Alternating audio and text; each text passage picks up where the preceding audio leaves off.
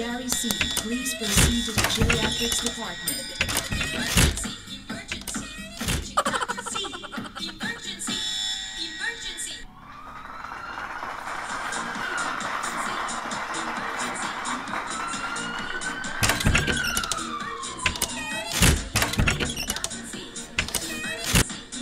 Ay, hello po. Ang pag-uusapan natin ay trigger finger. Ano ba ibig sabihin ng trigger finger? Ano ba mga dahilan? Bakit nagkaroon ng ganito? Ano yung ah, pwedeng maramdaman? At ano yung mga ginagawang treatments para sa ganitong trigger finger? Yan ang pag-uusapan natin. Ang ah, trigger finger po, eh, doon sa salita palang trigger, eh, di ba parang kumalabit ka ng barel, di ba?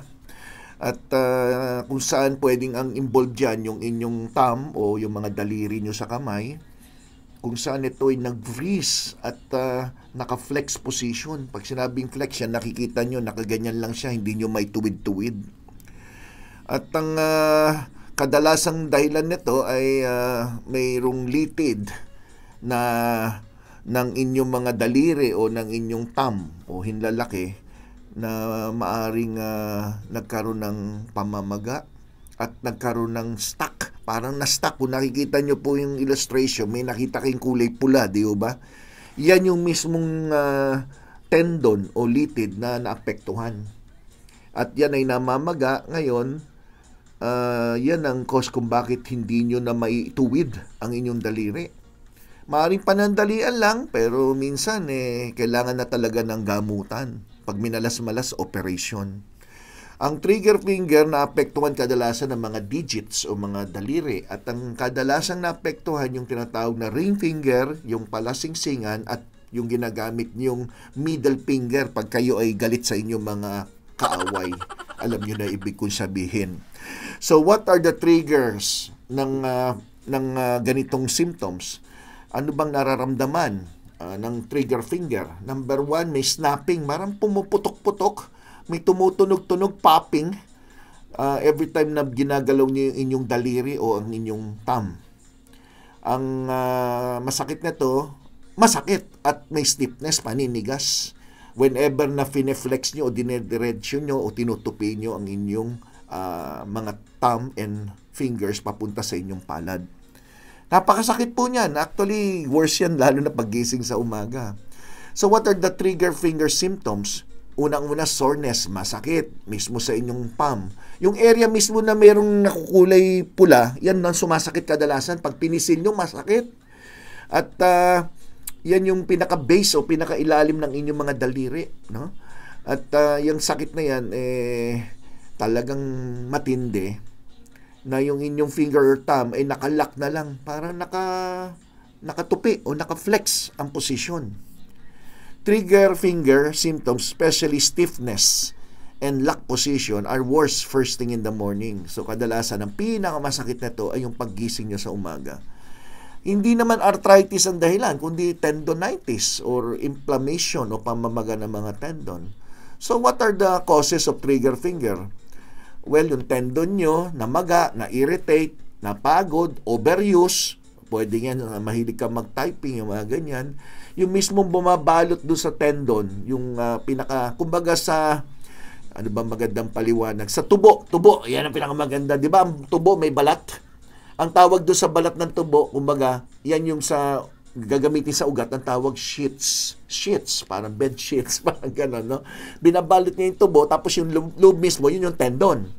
Ngayon, na, namagayan, eh di siyempre, yung paggalaw nitong mga litid ninyo, apektado. Naging irritated, swollen, eh, hindi siya makapag-slide. Kumbaga sa eh, merong puli, eh, hinihila ng puli, eh, aso may barado yung puli mo, hindi ngayon makadaan yung mga, mga yung lubid, di ba? So what causes trigger finger? Bump or nodule mismo dun sa affected tendon. Kaya napakasakit yan. So yung mga nanonood ngayon na merong ganyan, yung ah, masakit, pansinin nyo, pindutin nyo po yung pinakailalim ng inyong daliri kung saan yung sumasakit o naglalak. Pag pinindot nyo yan, napakasakit. Pero pag pinindot nyo yan, mas magagalaw-galaw nyo yung daliri nyo na mas maayos. So ito po yung sinasabi ko kanina, tendon shift. Uh, shit ha, hindi shit. okay. Tapos tendon. O, imagine nyo po ha, na merong bukol doon na tumubo o namamaga doon sa area na yon eh talagang hindi nyo na may tutupi yan. Kasi kumbaga may puli ka eh, parang hinihila mo yung mga daliri para maitupi nyo eh, o ma-flex. Ay, naku, napakasakit. Trigger finger risk factor. Sino yung mga pwede magkaroon? Well, kadalasan mga edad 40 hanggang 60 ang kadalasan naapektuhan. Mas common sa mga babae ang uh, trigger finger kaysa sa mga lalaki. At uh, yung mga taong nagkakaroon nito, sila yung mga may trabaho or hobby na nagre-require na parang paulit-ulit na ginagawa yung ganung posisyon. For example, nagta-type ka, yung mga mahilig gumamit ng cellphone, yung talagang addicted sa cellphone, yan pwede. Yung mga gumahawak ng mga makina na, na paulit-ulit yung motion ng paggalaw ng daliri, pwedeng yun na nag-cause ng problema. So, ang trigger finger, mga risk factor, yung mga pag-grabs nyo, gripping, uh, a lot of force, yung pagbubukas nyo ng mga garapon, mga misis na nahirapan kayo, pinepwersa nyo, pwedeng mag-cause din ng ganun. Hindi lang trigger finger, pati po yung carpal tunnel syndrome, isang problema rin na naiipit yung nerve na median nerve eh ganito rin ang dahilan yung overgamit ng mga inyong daliri no ang trigger risk factors ay certain health condition people with certain health condition pwedeng risk factor din po yan na magkaroon ng ng trigger finger sino yung mga tao na may isang sakit na pwedeng magkaroon ng trigger finger ito yung mga sakit kadalasan number one yung mga may osteoarthritis rheumatoid arthritis gout arthritis or gouty arthritis Ayan eh, natalakay ko na yan sa ibang video ko, no? Hanapin nyo na lang po.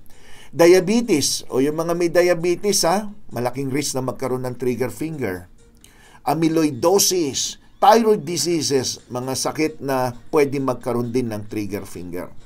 So, paano nadadiagnose ang isang tao may trigger finger at ano yung mga test na pwedeng gawin? Ito po.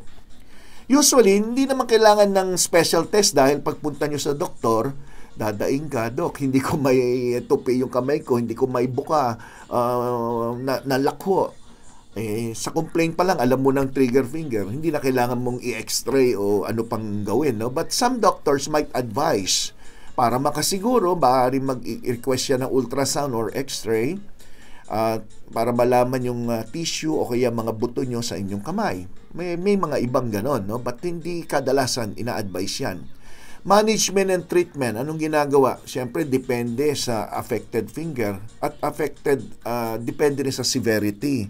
Kung talagang napakalala, talagang hindi mo na may buka or talagang tuloy-tuloy yung sakit at hindi, hindi ka na makapagtrabaho, eh maaaring kailangan na natin ng mga proper treatment.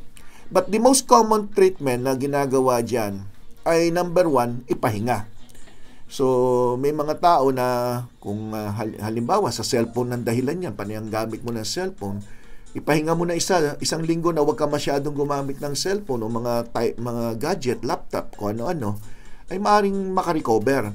So, taking break for work, hobbies, or tasks that cause trigger finger, eh, pwedeng mag-heal yung inyong tendon in time na pinahinga nyo. Isang pwede nyong gawin ay lublob din ng inyong kamay, buong kamay na, no? Dun sa tubig na maraming yelo. Nakakatulong yan mabawasan yung pamamaga ng tendon. So yan ay cold ang gagamitin, hindi pwedeng hot. Unless napakatagal na yung sakit, pwedeng i-advise ng hot water. But sa umpisa lang, sa nag-umpisa pa lang, mas maganda cold water. Uh, ano pa? Number two, pwede rin i-advise sa mga may trigger finger na gumamit ng mga splint or splinting eh sa ganitong paraan, ma-avoid natin yung, yung inyong mga daliri na gumalaw ng medyo alanganin o mag-overstretch na na pwede magbigay ng mas matinding kirot. So, ano mga splint na nabibili? Usually naman sa mga sports house may nabibiling ganito, no? O kaya pati online. So, kung sa tamang problema, so ganyan ang itsura, no? Yung nasa kaliwa. Pag ang mga problema, daliri, ganyan naman ang itsura, no? Any brand na gusto nyo, sa mga sports house may nabibili niyan to support lang para hindi nyo masyadong ginagalaw habang ito ay may pamamaga o habang gusto nating gumaling o mapahinga. So most common na uh, treatment din ay stretching exercises. So yung pinakasimpleng stretching exercises na pwede kong ituro sa inyo na makatulong to regain yung flexibility ay ito, tingnan nyo po. So ito po for example, itong aking daliri dito sa kanan eh merong trigger finger. Ang gagawin ko lang po, itutulak ko lang siyang pa ganon. So kaya pwedeng pa ganito, yan. Itutulak niyo lang yung ano, daliri niyo, i-stretch niyo lang ng ganyan. So pwedeng gawin yung ganyan na tinutulak pa ganyan. Nakita niyo, no? Or dito naka interlace tapos tulak niyo pa ganito. So hold nyo lang po na mga at least 10 seconds na parang naramdaman nyo stretch, no? Tapos i-relax nyo na mga mga ilan, mga bilang ng 5. So 5 seconds, oh, pwedeng 5 10 seconds. Okay? Tapos relax. 10 seconds, relax. Gawin nyo lang siguro mga limang beses. Ah, limang beses, tapos gawin nyo ng paulit-ulit every 4 hours. I-stretch nyo lang po yan, ganyan. So makakatulong yan. Okay. Ah, ibang exercises na pwede nyo gawin din ay itong mga sumusunod. So open, straight lang yung kamay, then i-close nyo po siyang kalahati, close nyo ng full, then as in straight na very tight. So dahan-dahan lang, pwede nyo gawin yan. Yung mga exercise, exercises na yan, tulong pang sarili. Okay, ngayon, yung mga ay, hindi talaga makuha, nagbabad ka na sa tubig, nagpahinga ka na, nag-stretching ka na, hindi pa rin makuha, ito yung mga pwede nyong gawin. Pumunta sa doktor, maaari mag-advise yung doktor ng mga mm, anti-inflammatory medication, yung mga non-steroidal, naproxen, ibuprofen, pwede makatulong yung mga yan, no? To relieve the pain and ma-reduce ang swelling. Pag hindi pa rin makuha dyan, ay baka mag-advise na yung doktor ng iba pang gamot tulad ng paggamit ng mga corticosteroids. Usually iniinom, so ito yung mga prescription na, na binibigay ng doktor. Pag hindi pa rin makuha sa mga oral steroids na iniinom, maaaring mag-advise ng cortisol shot. Ibig sabihin yan, injectable. Saan ini-inject? Doon mismo sa may problema, hindi po sa daliri, kundi doon sa mismong litid kung saan nag-umpisa yung pamamaga. So ganyan pong itsura niya, doon ini-inject sa lugar na nagkukos ng ah, pain and stiffness ng inyong mga daliri. Pero merong iba na maski na mag-inject ng ganyan, talagang hindi rin makuha, doon na pumapasok yung surgery. So may trigger finger surgery na tinatawag, kung saan yung surgeon ay rinirelease yung mismong ah, ipit ng inyong mga tendon.